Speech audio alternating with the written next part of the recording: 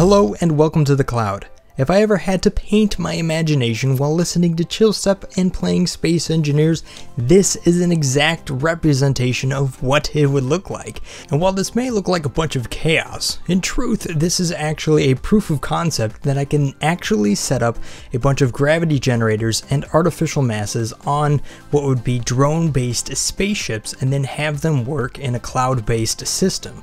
Now, while this system here that you're seeing in front of you has no nucleus, as I kind of look at this in some way of an atom to actually kind of make some sort of direct representation of what in the world I'm looking at, this is actually kind of a cool thing because the physics involved in this is absolutely insane. I'm actually really impressed that the computer can handle it as well as it does. And how it works is that each gravity generator has both a pull and a push, and the push itself is actually higher than the pull, and it also operates in a lesser range. Now, I will get into the full full details of how this stuff actually works because it's kind of finicky and there's a lot of stuff going on as far as the amount of mass and how everything actually moves around and what the limitations are, but that's going to be in a whole other video that's going to be far more technical. In this case, it's actually kind of a proof of concept that you can actually create a drone based in a cloud formation kind of system going on here.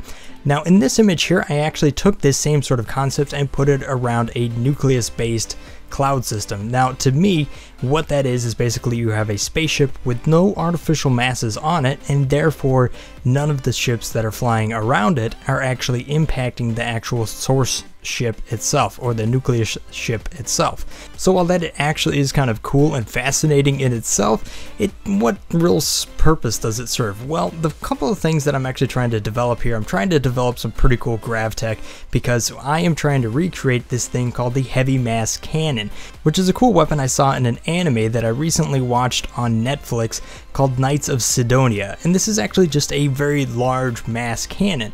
Now the problem with a very heavy mass cannon or any sort of kind of ballistic material that would be of heavy mass is the fact that they're really heavy and you gotta like haul a bunch of them around. So you either have like one or two rounds on your spaceship or you have to find some way of actually moving that mass without actually physically having it impact your spaceship. And that's where this GravTech comes in, being able to create those different boundaries and kind of hold it there.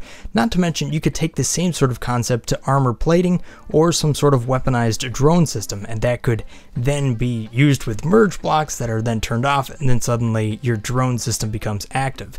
It's a whole different kind of concept. Not to mention, you can kind of take this same sort of mentality here and be able to create an external launch system to a carrier and rather than trying to create an internal space what you do is you create an external space that could then be like have all these ships rotating around it and all this kind of sort of stuff. So I think it's a pretty cool proof of concept. I just kind of wanted to throw it out there for you guys and just kind of share it with you. And I will be also creating a second video of this where I'm actually showing the ship itself as it can actually move around and then the cloud is actually following behind it. It's a very kind of technical and I, I think I need some more like graphic representations to show everybody kind of what's going on here and what the different limitations are because there's a lot of factors involved that I've kind of learned as I've kind of messed around with these cloud-based drone systems. So I want to kind of show you that in the future, but at any rate guys, that's what I have for you right now, and if you want to go ahead and look in the description below, there should be a link to an actual download where you can kind of get in there and mess around with these objects you've seen here in the actual video itself.